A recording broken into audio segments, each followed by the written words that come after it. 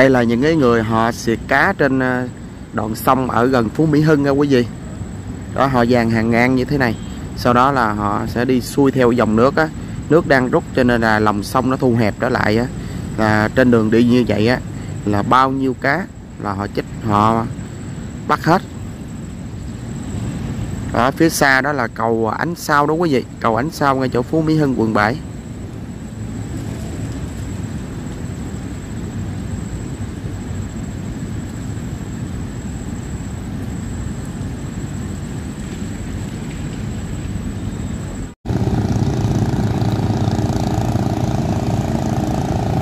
sau khi mà họ xiệt cá được một đoạn á, đi được một đoạn để xiệt á, thì họ quay trở lại để tiếp tục đi một lần nữa.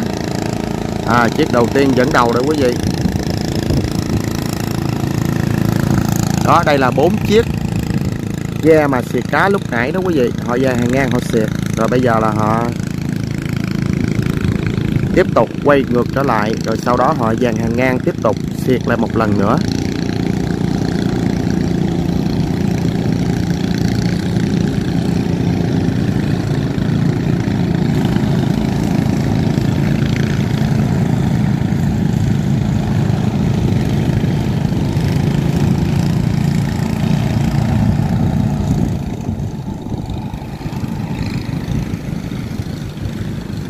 Với cái cách đánh bắt cá như thế này thì đừng mong gì mà các thế hệ mai sau còn có cái nguồn lợi tôm cá để à, hưởng hay là tôm cá để giúp cho bảo vệ môi trường.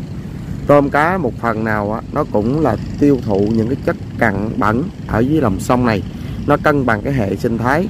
Khi mà dòng sông không còn cá tôm gì nữa thì có nghĩa đó là một dòng sông chết. Đúng nghĩa luôn.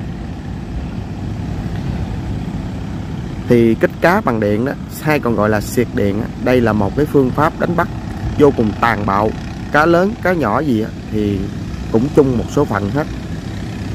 Đa số bây giờ cá trên các dòng sông của Sài Gòn chủ yếu là cá người ta phóng xanh chứ à, cá ngoài tự nhiên hầu như đã không còn nữa.